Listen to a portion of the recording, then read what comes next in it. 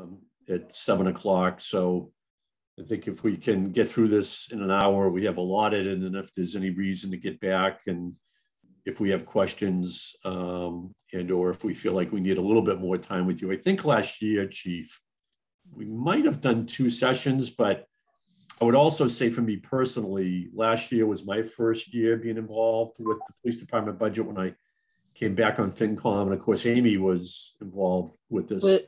that was my first year too. Oh, it was. Okay. And, yeah. Well, uh, this is my first year on the finance committee, but I'm very familiar with police budgets. I'm the chief financial officer in Somerville. I've worked with our police department for 30 years developing police budgets. So I'm very familiar, you know, with, with what I'm seeing in front of me here. So I just want to let you know that. I might have some basic questions in terms of how Wakefield operates, but uh, I'm pretty conversant in this stuff. And you might notice that Ed's also the most best well dressed of any of the FinCom. Well, I'm coming from work and I wanted to uh, my tie here for the police yeah, department. Yeah, okay? yeah. He'll still have it on at seven o'clock. I'm coming from work too. He's he's a show off.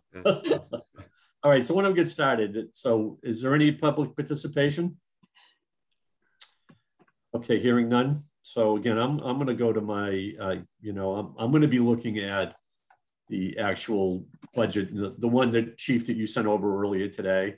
Mm-hmm. And I think, um, I think, you know, I, I have some specific line item questions, but I think it would be probably useful for you to, um, if this works for you, give us a general overview of the budget. And, you know, um, I think the way we kind of did it last time was we talked about the budget, you know, where there are specific increases, reasons, and then we sort of had a discussion, which was very interesting to me about the uh, general state of affairs, things going on for, so for example, last year, you know, you talked about, um, you know, of course, there was town meeting action to, um, to make improvements at the police station. Then we went back to town meeting recently and got the approval for more. You can talk perhaps about the timeline for that. Um, some other, you know, personnel matters that you might feel it's appropriate last year. You know, you talked about the recovery coach and the mental illness clinician. Um, I'm, I'm just, you know, things, you know, that we've talked about, you know, COVID, reimbursements, grants. You know, was in the paper the other day about getting a grant for um, the um, body cams, re recording devices, the cams. So stuff like that, you know, you you have, I know you have a little bit of a wish list. Last year, you gave us a really fascinating uh, rundown of what the future might hold, giving all the development that's going to go on in town or is going on in town in the future. So um, does that work for you? Would, is it, you comfortable with that, following that? Let, let's talk about the money first and then talk about some of the things behind that and then, you know, some other things that would be interesting to the subcommittee. Absolutely. Okay, thank you.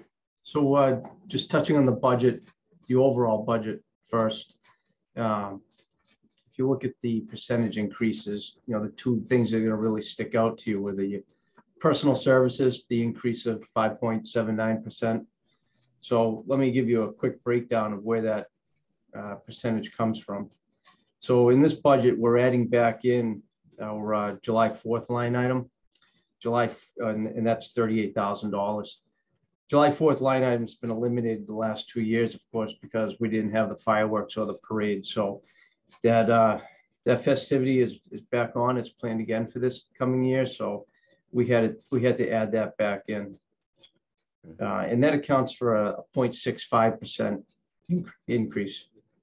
Um, also added in here was eighty-six thousand eight hundred fifty-four dollars into the holiday pay line item. So the uh, the holiday pay account has been underfunded for years. And last year there was an addition of another holiday, uh, Juneteenth, June 19th. So for this current fiscal year that we're in, the holiday account is actually underfunded by $66,808. So uh, that increase is necessary to take care of what's been underfunded, plus the addition of the uh, the new holiday. Uh, so we would, just wondering, would, isn't, isn't the holidays in the in the CBA or are you obligated to fund what's in the is does the collective bargaining agreement list all your holidays that you need to pay out? It does. Yes. So yeah, and I, I was curious when you say it was underfunded, so that that seemed very strange. That that, that line item just hasn't been uh, increased over the last few years. There's a few line items here that, even though the uh, there's a contractual raise, some of the line items don't go up, such as uh, the sick overtime line item, vacation overtime line item. Those have been level funded for a number of years now, even though there have been contractual raises. So the holiday pay is a little bit, it sounds like a little bit of having two dimensions to it. One is the fact that it had been somewhat underfunded and a new holiday for all town employees, right? That's yeah. correct. June 19th. So that, you know, that would be something that we would see in different dimensions across. Obviously, you have, you know, it's a larger overall for you because you have a lot of employees. So fire DPW is where we would, you know, probably hear that also, for example. Correct. Okay. And then we have uh, contractual salaries. And I know if you uh, if you look at the individual officers, you'll notice that there's a different different percentage for each officer. And let me uh, get into explaining why you would see that. So contractually, uh, there was a 3.5% increase uh, for the officers this year. Other officers, you'll see more. Uh, there's some that received 4.5, and that would be because they hit a, uh, a longevity stipend. At 15 years, 20 years, and 25 years, there's a 1% increase. So we have a couple of officers that have hit 15 years and a couple of that have hit 20. I think there's uh, six officers total receiving an additional 1% for longevity pay this year. Does the 1% go in increments of every five years after 15? So if somebody hits 25, do they get another 1%? 15, another 1% at 20, and then another 1% at 25. So it's 1% on the base, whatever the base is. Correct. Right. If the base is Quinn, then it's 1% on the Quinn stuff as well, right? Whatever their overall salary Yeah. is, correct. Okay, all right. So, so just while you're there, um, and maybe you're going to get there, so I apologize if I'm jumping the gun on you, but you know, looking at the um, percentage increases scrolling down through, and just you know, a general comment because, um, but you look at uh, Lieutenant Anderson, Sergeant Powers, one of my most phenomenal soccer players in my coaching in Wakefield, uh, Officer Smiglitsky, they're all 7%, Damasi, Hembro. Right. Why are, why are there increases? Um, So that, that was where I was going next. okay, sorry about that. That's fine. So both, uh, I'll start with Lieutenant Anderson and Sergeant Powers. Both of those individuals were promoted back in the summer of 2019. So for supervisory officers, there's a four-step uh, pay process. There's four pay increases. Uh, Each of those two individuals is hitting their fourth step this coming year. So not only do they get the contractual raise, but they also get a step raise. Oh, There's one officer that's going down, it looked like. Officer- Um, Officer Lyons. Officer Lyons, and the reason for that is he went from the, uh, the night shift to the day shift, so he lost his night differential. And the reason it's, uh, four, what is it, four point one seven? Yes, that's because he went uh, from nights to days halfway through this fiscal year. So it's a little bit, it wouldn't be a full 8% savings for next year. So Chief, I just, so the night differential, is that a percentage on base? Correct. And you do weekend differential as well? Correct. Yeah, okay. So those, those things would come and go by individual, obviously, because people would move around in and out of those shifts, right? Everything here is based on seniority. So as a senior officer retires, Yep. uh, opening comes up on the day shift, the most senior night officer moves up to days and they lose their night differential pay. So what's an example, like you gave the example of the promotions for lieutenant and sergeant, but what about some of the officers that are in the 7%? Is that day, night type stuff? Say that again? Well, there's some officers that are in the 7%. Correct. So let me get down to them. Yeah, like. The first one is Adam Smigulski. Yeah, So you'll see to the left of his name in N3. Now, what that means is he's at, he's moving up to night third step. So he's currently at a second step. He'll be moving up to the third step. And the patrol officers have five steps in their pay scale. So he would be moving up to 3.5 for his contractual raise, and then another um, almost 4% for his uh, or 3% rather, not 4% for his step raise. So that's the difference between the 3.5 and the 7.42 is the, the So step. that would, that would also be for the other, some of the other ones that I, I didn't mention them all, but there's some other ones that I It would include uh, Jeanette Demasi, Yeah, uh, Adam Hembro. Jeanette's going from a uh, from a night four to her final night five step. okay. Adam Hembro is hitting his final uh, night five step. So I think there's five officers here, patrol officers that are hitting their final night step. Okay. And then you have some down below, you know, I kind of stopped looking, but you have Mark O'Brien and Robert Peterson and uh, Right. Malone all up in the seven. So this is about steps then. Yeah, those are the younger officers that, or the newer officers on the department, people that have been hired within the last three Yeah. years. On the other side, chief, are- is there anybody eligible to retire, gonna hit sixty-five in the next year or so? Nobody that's going to hit 65. We do have um, one individual that will be eligible to retire February 21st. Um, I ex- fully expect that he will retire, maybe not particularly on that day, but probably before the summer hits. Mhm. Um, we have two officers that are out injured right now that I don't expect back. Uh, we've already started the process of trying to replace them. Are they, uh, are they permanently disabled? Are they going for disability retirement or, That's correct. That's correct. yeah, okay. Yeah. So we've, we've started the hiring process to replace them already, uh, because it is a lengthy process and Uh, is there, it, the, the academies are hard, uh, uh, there's been trouble getting folks into academies. Uh, the, are the academies lined up to, to get, um, we, we have two seats reserved in academy only because we know that there's such a high demand right now. Yeah, Uh, So luckily, we, we, we have a good relationship with the Lowell Police Academy. So when we request that they hold seats, they'll do it for us without actually giving them a name first, which is. that's great. That's good. Some academies won't do that. Yeah, that's excellent. Yeah. Yeah. So we have, we're in the process of hiring two. We'll have to hire another one at some point this year. Um, we have two people that are eligible to retire now. They have the age, they have the time, they have no interest in leaving. They perfectly content continuing to work, so I, I don't expect them to leave. And just for Amy, as I look at my notes from last year, which I am doing, uh, looks like the overall increase was about four point three percent, and this overall increase is going to be six point six and a half. For, uh, for salaries, Uh, no, I have an overall, you know, I'm looking at my notes from last year. Um, the overall increases were four point three percent across the board. And the overall increase for this budget is six point five, right, so. which is all, all, well, There's, there's one substantial increase in the uh, contractual services section of this budget. That, that accounts for a big chunk of the, um, the overall increase in the uh, percentage increase here. So if you look at contractual services, the computer maintenance software line item, last year we had 19,000 in there, and this year it's 69,000.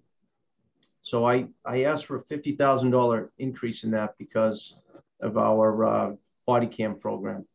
So we got a grant through the state to purchase body cams. Grant is only for equipment. It doesn't cover uh, video storage. So just to give you an idea what video storage costs, uh, myself, the deputy chief, and Lieutenant Rebley, over the last couple of years, we've um, We've met with some body cam companies. We've got prices from them and video storage is the most expensive part of any body cam program. The Absolutely. Itself, they're relatively cheap, they're inexpensive, but it's the, uh, the storage that's expensive and, and the grants don't cover video storage. Right. We leave that up to the cities and towns. So Axon, which is a big name company, it's who we actually use for our tasers. Um, just to give you an idea, in 2020, they they gave us a quote of fifty-eight thousand seven hundred forty dollars a year for video storage. Um, another company, BodyWorn, gave us a quote of forty-seven thousand three eighteen, and then another third company, WatchGuard, was thirty-one thousand seven twenty-five. So we haven't actually chosen a vendor yet for our cameras, but I used the figure of fifty thousand dollars because it's on the high end, and I want to make sure that the money was there for video storage. It's- it's a good chance that we'll come in under that and that we'll be able to give some of that money back that we won't use all the $50,000 that I asked for. But that's why you see such a significant increase there. When you look back at the top of the budget and you see the 27% uh, increase in contractual services, that's where most of that comes from. Uh, there is a small increase in professional services from 87.5 to 89,687. That's the line item that we pay our mental health clinician and our recovery coach from. They were do a, a small increase this year, and, and that's why you see that uh, accounted for in that line item. We also those, lost. Those, those are not town employees, though, right? They're not, but we we pay for them out of our budget. Uh, are they are they contracted with contracted services? They are. They're through Eliot Community Health. Okay. But they're there at your disposal when you need them. Right? Correct. So the yeah. uh, mental health clinician, she's here in our building full time, 40 hours a week, and then we share the uh, the recovery coach with Stoneham. Mm. We have her for 20 hours, and Stoneham has her for 20 hours. Yeah, well, that's I applaud you for getting that in there. That's that's well needed in these in these times. Uh, yeah, they they do incredible work. They save us a lot of work. Um, you know, everything you read about in the news about having uh, mental health response teams and police departments trying to create those teams. We've had it here for a long time, and it's and it should be in the police department too. I know there's some thought out there that you know, shouldn't be part of the police, so it should. They, these clinicians have to be working side by side with the officers, no question. Absolutely. So, so the recovery coach, the recovery coach is the 20-hour job, right? Correct. Yeah. So then we also, uh, last year, we can, I, had, can, I, can I just interrupt you for a second? So it's just interesting to me, and I don't know why I didn't ask you this before, Ed. I'd be curious your perspective. I'm just, you know, when we talked about contractual services and we're talking about different step increases and things like that, just interesting to me that those dollars aren't just part of contract of personal services as opposed to uh, no actually bill under the uh, the, the, the, the process in, in municipalities, uh, that's considered ordinary maintenance, contractual services, uh, the contractors. Personal services really. Oh, no, no, no, no, not the contractors, not the contractors, right? So none of the dollars that we, okay, okay, I, I, I get it, okay. Yeah, so think of personal services, employees, employee benefits. Yeah, no, I, I, I, I misspoke. Yeah. I get it. Yeah. Yeah, okay. So Chief, I, I was just, I'm just kind of curious. Um, uh, the body cams. Yes. Um, how how is the the uh, force going to react to that? Has that been negotiated in, or do you, do you, anticipate any difficulty implementing this? So it's interesting you asked that. So as part of the grant process, uh, we were one of two things. We either had to have a body cam policy in place, and if we didn't, I needed a letter from the union stating that they were willing to work um, with me to establish a body cam policy, and we have to have one within six months. So I went to the union. I told them that I was going for this grant, that I wanted to get body cams here. And they said, all right, well, uh, let us have a, a, union meeting. They had a union meeting and probably 10 minutes later, I had a letter that says, we're all in and we'll work with you on a, on a policy. So, right. Um, you know, if you would, if you had thrown body, the idea of body cams out there 20 years ago, you would have had people uh, retiring. But nowadays, it's we have a different crowd here. Uh, the officers realize the value in the camera and they want it. So it, it's it's a good well, thing. It protects the officer as, as as well as transparency. It protects the officer too. It's you know so more and more uh, officers are uh, looking forward to it. Yeah, they are. They're they're actually uh, you know we have a young crowd here, so then they're very tech savvy. So yeah. they're they're kind of excited about it. Well, that's that's all good news. Really is. Yeah. How long does the video have to be stored for? That'll all be in the policy. Um, so what we're, we're doing now is we've taken a number of policies. We have a policy working group, uh, myself and two representatives from each union. And we're going to go through a number of policies and kind of dissect them, pick out what we think works best for us because um, some of the policies you'll find they're too restrictive and some aren't restrictive enough. And luckily, there's some, uh, this, which is actually the federal government has what's called a policy wizard. Something you can actually use to help create your policy. And we're going to use all those tools, put them together, and, and come up with a policy that works best for us. but the uh, as far as to answer some questions about storage, we're we're looking at cloud storage. So there's two options with storage. You can either go with on-site uh, hard drive storage or cloud storage. I have no desire whatsoever to have uh, servers here storing that information for a number of reasons. Number one, there's liability with it. Number two, too much can go wrong if the service went down and we didn't know it. We don't have somebody here that can monitor those, service them. Um, you know, I, am just fearful that if say we lost video because a server went down and we didn't know it, we'd be accused of playing games, um, purposely eliminating video. I don't want any part of that responsibility. Uh, when you contract with these companies, it's, it's in their cloud storage. They're responsible for it. And they also have redaction software so that when our officers need to make a copy of a, a video for court for a public records request, it's much easier to make redactions in the video with the software that these companies provide. Chief, I'm, I'm not sure if I understood Amy's question you answered. I think her I think your question not is how long do you have to retain? It, you know, it all depends on what the incident is. You know, if it's if it's an arrest, you would retain that video as long as you needed it for the case to be disposed of. Um, if it's a traffic stop, maybe policy says six months. It, it's all different based on what type of incident it is. But, but can you create your own policies around that, or is these you know policies that are mandated or suggested by town council, or we can make our own policy. Um, so what's interesting about what's mandated is that the police reform bill has created a body worn camera commission, and by July 30th of this year, they have to come out with their findings, the commission's findings. And part of that may be a uniform policy that has to be adopted by every department in the state. So we may come out with our own policy that says X, Y, and Z, and the state may, this commission may come out with a policy and say, well, it doesn't matter what your policy is, this is your new policy. Yeah, I would think there would be some standardization around that. And, and most of them are relatively close. There's not huge deviations in, in policies. Mm. Okay. Mm. Thank you for that explanation. I, I can give you one example of something in a policy I don't like. There's one department that has a policy that says that you can only turn your camera on for criminal investigation. Well, a lot of things we deal with that aren't criminal investigations. You know, if we're dealing with somebody who's in uh, mental health crisis, that's not criminal. Hmm. But you know, it's a situation that you certainly may want to have body cam footage of. I assume something could start as a non-criminal action and turn into criminal too, right? yeah. Okay. Okay. Um, There's one other thing here. Uh, two things I wanted to point out in the budget as well. So we also last year we had FEMA cares and uh, ARPA reimbursement under contractual services for uh, $18,750.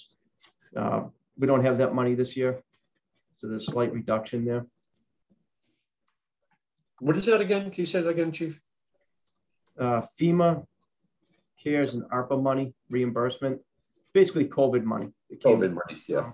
Yeah, you can legitimately use that money. Let's say I was going to ask a question about how the pandemic was affecting your staffing and overtime, you know, so you use that money for police o- fire overtime, Right. um, as long as you tie it to the uh, pandemic, you know, so. We'll be looking at that at the, at the end of this fiscal year. Uh, we, we've been hit, in the last two months, we got hit pretty hard by COVID. Up until then, we were fine, but it's, it's taken a toll on us in the last two months. So I think at the, uh, the end of this fiscal year, we'll see where we stand with our overtime accounts and if we have to use some of that ARPA money to offset it, we will. Okay. Chief, back to the recorders for a minute. So you, the grant was for 75? Seventy-five thousand, seventy-four thousand, seven hundred twelve How, how many recorders does that represent? fifty. 50. Um, what's the life cycle and, you know, of, you know, do you expect to get out of the recorder? And what happens if one's damaged or something in the incident? That's all, something. So you sign a contract with these companies. It's a five-year contract, and that's something that you, you'll there'll probably be a warranty included inside that contract that we'll have to pay for, and that will cover any replacement These companies want you to have their product so bad. Oh, sure. Yeah. Oh, yeah. There's no, Camera that's dan- damaged, they'll replace it. yeah. there's a no lot warranty, competition right no- now. there's no warranty budgeted right now, per se. It'll be worked into the contract. So basically, that will be, um, we'll use the, the grant money to purchase the equipment, and then there'll be a remainder of a fee, and then it'll be rolled into the, um, how it- it'll be broken up over five years, five years worth of payments. Which will Is, include, is- is there, have these been around long enough? I mean, are these, will they still be, you know, effective devices, six years, seven years, eight years? Or you expect that, you I know, think, I think five years is probably the limit on these devices because, you know, technology advances so quickly now. Yeah. Um, But it may, it, it may be, some of these companies do it as a lease, like you purchase it Yeah. and, Yeah. but they upgrade your equipment for you in five years at a reduced cost, but, but this is structured as a buy based on the grant, right? correct? Yeah. It's all gonna really come up, be- uh, come down to how they write up the contract. But does the grant govern that it's a purchase versus a, a lease? You know, It only covers the cost of equipment is what it said, so that's a great question. Yeah. So I mean, not that- and again, this is all futuristic, but in the future, for replacements, you might decide to do a lease, so you do a refresh and, We may even switch companies. You know, Sure. you, you just don't know. Maybe uh, we select a company to, a vendor to deal with and we just, for whatever reason, maybe they go out of business or we don't like them. We Yeah. decide to switch. just, again, I just want to ask you this while we're on the subject of, you know, obviously it was nice to get that grant and saw that in the item last week and the fire department similarly got, got a grant for some items, but um, do you have any other grants pending? Are you pursuing any other um, any other grants for any other items? Besides body cams? Yeah. Oh, yeah. Yeah. we- So we have um, multiple grants that we get for traffic safety. Um, Covers anything from uh, safety equipment for roadways, like you'll see around town, you've probably seen some new flashing signs that say your speed mounted to telephone poles. Uh, Yeah. Bought those with a grant. Uh, I know Lieutenant Anderson, he's a chairman of the Traffic Advisory Committee. He just bought some, uh, he just bought some new safety equipment through a grant. We have enforcement grants that we use for uh, seatbelt enforcement, OUI enforcement. We just got a grant Mm. for a, um, in the spring, we're gonna do a bicycle rodeo for the kids. And we got grant money to buy helmets to give away to the kids.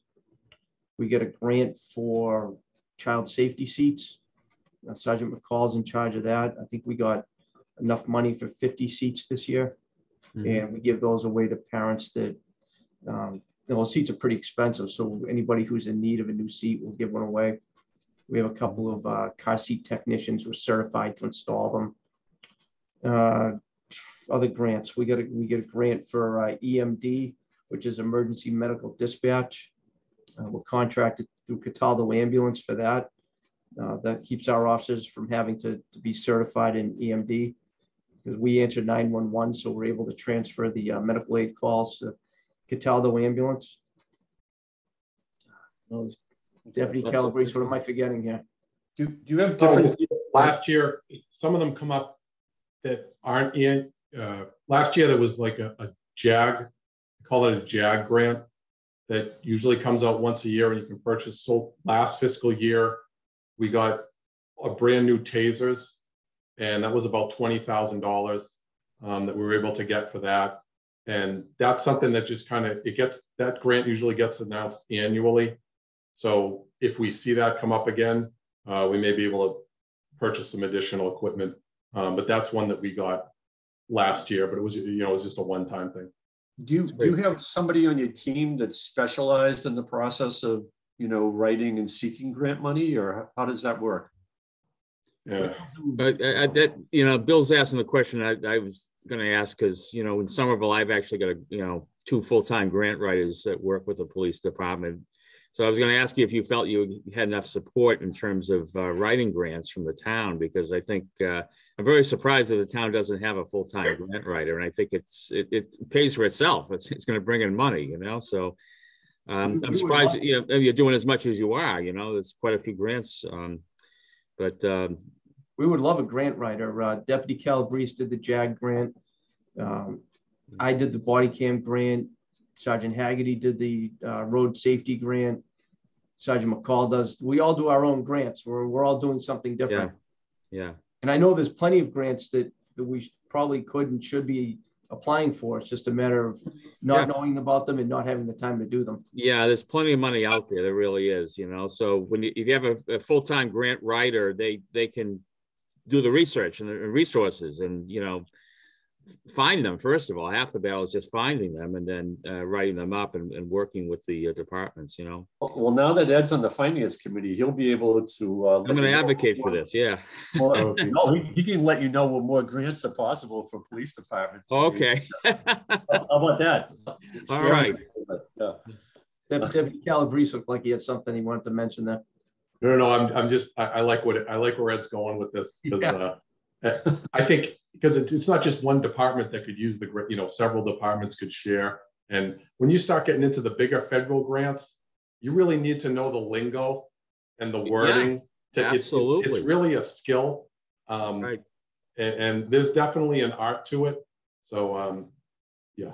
You know, in, in years years past, you know, for Ed and Amy, again, this is my second tour of duty on the finance committee. I know in the years past, though, the subject of grant writing and grant expertise has come up. I can't really recall where, you know, Steve stood on that, to be honest with you, but it, it's not an uncommon topic and, you know, likely to come up uh, in some discussions we have, you know, going, going forward. So interesting stuff. Yeah. Um, just just back and chief i you know i'd like you to share some some other things uh, that you talked about last year and you've shared with me about just sort of the future of the department but just um, you know i feel obligated to ask about some of the line items in the budget where you know it's level funded for last year but not much of the money is spent uh, other materials and supplies is 13,000 or you know, when, okay, so you went down to, you went down 2000 and I apologize. The, the recommended, that column is what the percentage increases and decreases is not turned on, you know, it all says zero. Right. Um, so I, I, I misspoke on that. Um, like public safety is at 30,000, you've spent not even half of that. I don't, I, you know, what is that? So what happens with a lot of these accounts is that um, I'm pretty careful with them throughout the first half of the year because right around March, April, May, we starting it, we start to get hit with um, service contract costs. So public safety, since you brought that one up, uh, that's the account that we buy all of our ammunition out of. And we probably spend at least $12,000 a year on ammunition every spring to make sure that we have enough for the following year. And then there's some other um, equipment issues that will come up. Any equipment that we need comes out of that public safety fund. Okay.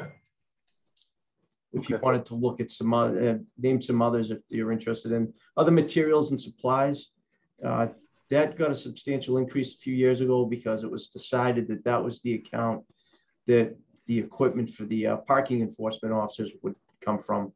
So we have two handheld devices the parking enforcement officers use that we, uh, we have a contract with a company called Complus and those devices are leased. So what happens is they're able to do all the parking tickets electronically. Uh, they can scan a license plate, they can scan an inspection sticker. It will tell them uh, whether the car has a parking permit for town or not. They can electronically chalk a tire with it, and then it will actually print the ticket. The device will actually print the ticket. The bill for that ranges around $750 a month. So those bills get paid out of that account. Is that headcount in your budget though? Say that again, sir. Is that headcount in your budget?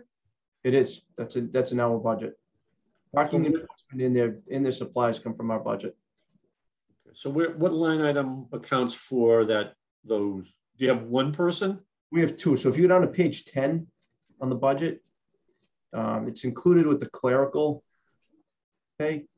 Oh, oh, oh, oh, I get it. Okay, I'm sorry. Under Linda Donaldson, this, it shows two part-time. And Okay, they actually, we gave them a pay increase this year because they were actually getting paid less than the lowest paid town employee.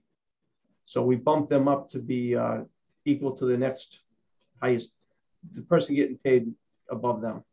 It's brought them each up to twenty-three, five sixty-four. So they got a slight raise this year.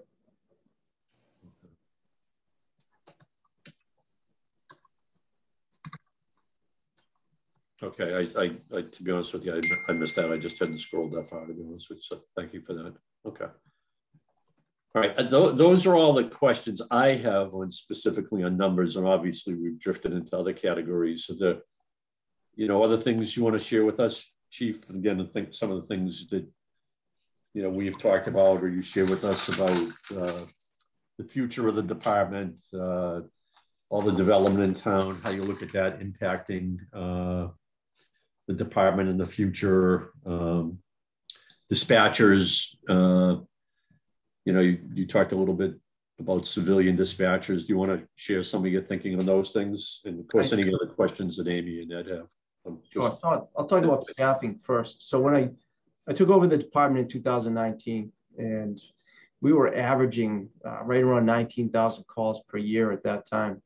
And I know when I talked to the subcommittee then about how we really needed to add some personnel each year to the department. I would love to bring us up to somewhere around the 55 person officer range. Um, we're at 47, we're budgeted 47 now. I certainly wouldn't expect to do that all at once, but if we could my goal was to, to try and do one officer per year. And the subcommittee uh, was pretty receptive to that. Um, and then, of course, COVID hit. Uh, we've been short a detective for six years now, I think. Uh, we've got officers, we have officers assigned to the schools. So we need officers in specialty positions. We need our SROs, we need our family services officer. Um, we need detectives, but unfortunately, that all takes away from patrol. And the patrol force here is extremely busy. They handle a lot of uh, diverse calls, calls that are very time consuming. Um, there's really nothing simple about police work anymore. Any, any call you go on is somehow complicated and everything requires documentation. So it's not just about the time you spend on the call, it's about the time that you invest in the call. Because you still have to come back to the station and write a report and do follow up and whatnot. And we talked about the family services officer, I mean, the uh, clinician and the recovery coach. A lot of the work that the officers are doing on the street is directly tied to, to them. Yeah. And they, they work together. There's a lot of collaboration there. There's a lot of communication. And like I said, everything's time consuming. So uh, the goal really is to get more officers on the street. I talked last year about the, the growing population in town, the number of construction projects that we're seeing uh, rattled off a, a list of projects that we have at the head of the lake, Salem Street, Foundry Street. And I, I estimated at that time, we were looking at about twelve hundred additional living units by the end of this year when all those projects are complete. And when you start to look at calls for service, there's a significant impact there on calls for service. So we've been working with the same number of people on the street for years. We just keep stretching it thinner and thinner and thinner. And at some point, there's a there's a tipping point where it just doesn't work anymore. We need we need additional people. Mhm. So it's it's like a double-edged sword too, because now we're in the hiring process of trying to replace two people that we know are, are leaving. And like I explained to uh, Bill a couple weeks ago, the number of people applying for this job is declining rapidly. Um, it- It's unbelievable, it really. really is. You- uh, Years gone by, you, you, be- you covered to get on the civil service list to become a police officer. Not It so it much. boggles my mind and, and, and we, we can't, we can't, we can't find people now. It's just, No. it's- it's terrible. So this, this current list that we have, there was an exam in June. And there were twenty-two Wakefield residents that took and passed the exam. And when we reach out to civil service to hire, um, that's the list that we're given. And unfortunately, when you start going through that list and you look at people's, uh, criminal histories, driving histories, backgrounds, um, it, the list shrinks real fast. Yep, yep. So as much as I would, I want to add to the department, now it's a challenge of finding qualified people. Fortunately for us, um, we have to replace two. We found two people that we believe have good character and, and will make good police officers. So in the process of hiring them, how many more of those people we could find in that short list, I'm, I'm not so sure of. So it's really a tough situation uh, as far as looking at the prospect of hiring new police officers. But like I did talk to Bill about is uh, we need to modernize the way we do dispatch. Um, since I've been here and from probably eternity, there's been a, a patrol officer and a, and a, supervisor that work dispatch, which is an archaic system. No. Uh, the supervisor, his his or her role is to be the officer in charge of the of the shift. And here, WPD, that officer is not only running the shift, but sitting in dispatch chair, answering 911, answering the radio, answering the telephone, when really they should be in a dedicated office, reviewing reports, making sure that work is filled, tending to prisoners, uh, monitoring what's going on out on the street and in the, and in the station. It's a very challenging position and it's very difficult to do when you're in the middle of doing one thing, such as reviewing a report, and all of a sudden 911 rings because there's a car accident and your attention is drawn somewhere else for half an hour. So what I'd really like to do is to get a, um, a staff of civilian dispatchers Yep. to work the day shift and the evening shift. I, I don't think we need one on, on the midnight shift.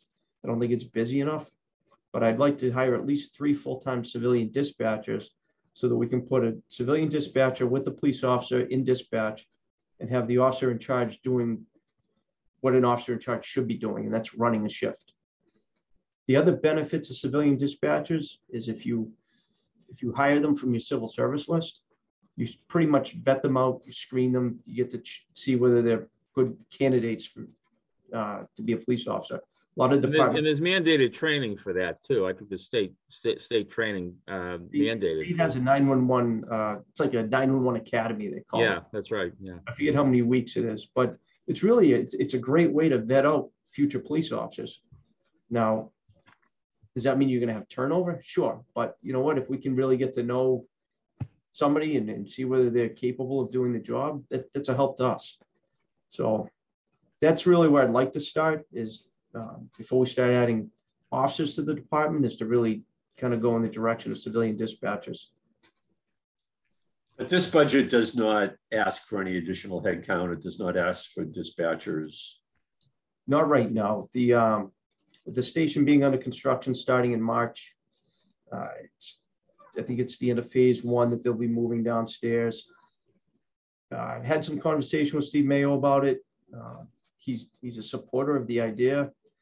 I know that with some of the ARPA money, we can use that towards, uh, paying employees. I'm hoping that maybe if civilian employees is something we jump into in the middle of the fiscal year, we can cover the cost of that with the ARPA money. That's something, that's a conversation I have to have down the line. Yeah, in terms of the ARPA money, um, and this is probably a, a question of Maio and Steve, uh, and Mr. Gill.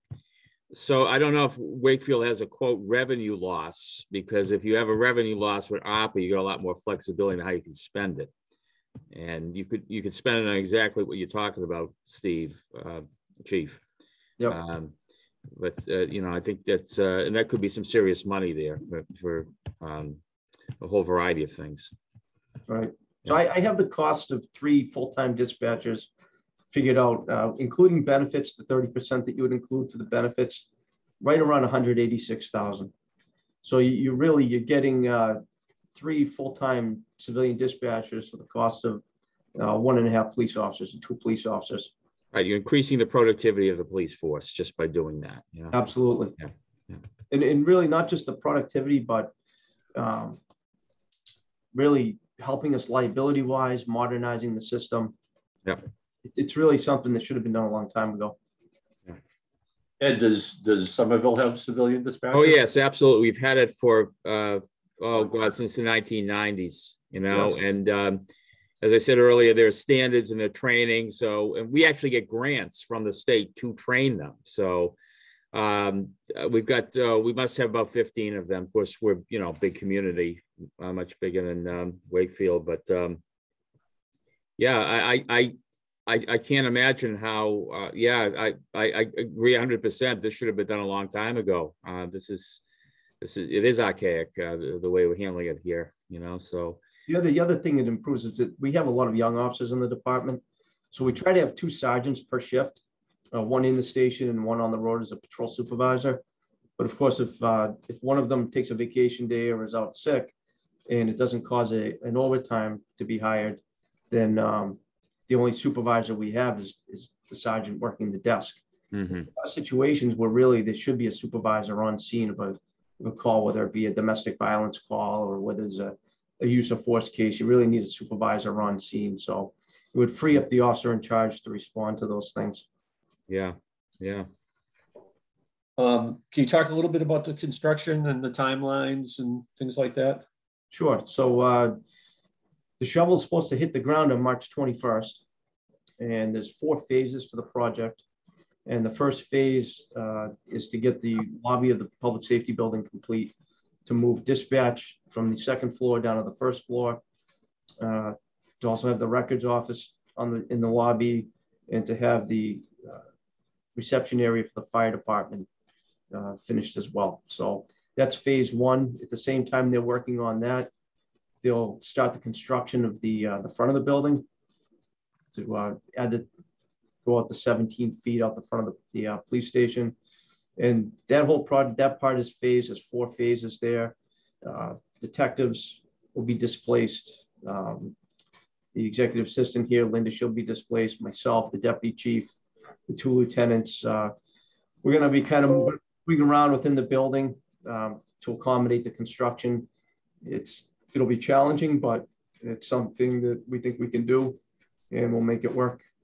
And the end goal, I think they're looking at, they say right around a year, uh, based on prior experience when they did the building before, they, I know we were, it took a little longer than they expected, so I, I would guess probably like a year and two or three months to be more realistic about it. Hmm. It is challenging because we're, we're staying in the building while they're doing the construction. So I, I expect it'll take a little longer. Hmm. Yeah. And the cost, I know we had to go back to town meeting and ask for more money and the, uh, the problem is COVID. The cost of building supplies went up, the cost of everything went up, and that unfortunately wasn't accounted for, couldn't have been accounted for in the beginning. Yeah. Yeah.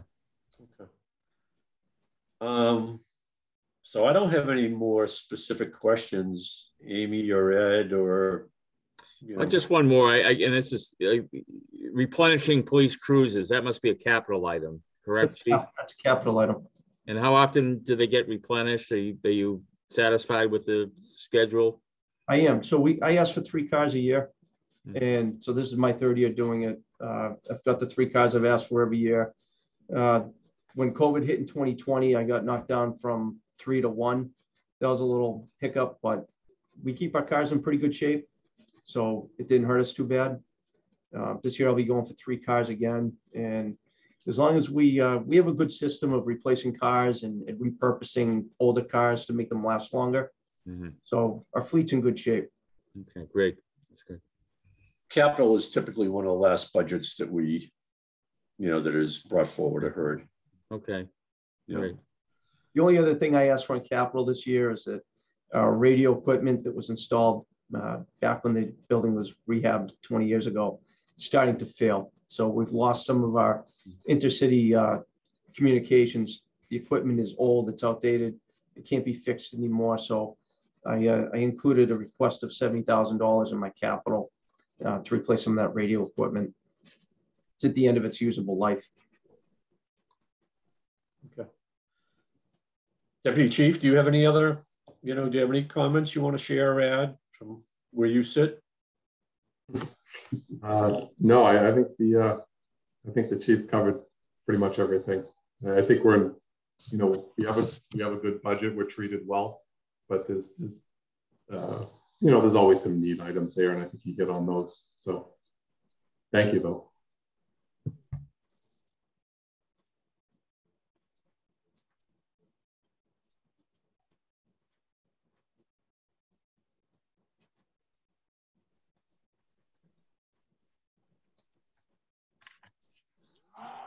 I think, I think we lost Bill. Bill Frozen. Still frozen? Yeah.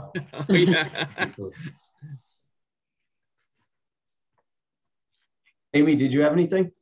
I did not have any other questions. We already hit on everything I had, I had tagged when I looked at the budget. My, uh, my computer froze up there. Sorry about that. Okay. Well, if we don't have anything else, uh, Amy, or Ed, I'll entertain a motion to adjourn. I'll second it. I'll second the motion. Okay. So Chief, Deputy Chief, thank you for your time. And what I'll do is I'll put some minutes together and I'll share them with all of you and would ask that, uh, please feel free to, you know, provide any edits. This is something that, you know, I, uh, we were obligated to submit, uh, for public record and, uh, so I'll, I'll, I'll get that out to you within the next couple of days for sure. And I value any feedback you have. So appreciate your time. Very Thank you. Thank you very, Have a thank good you very day. much. Thanks, good night. Appreciate it.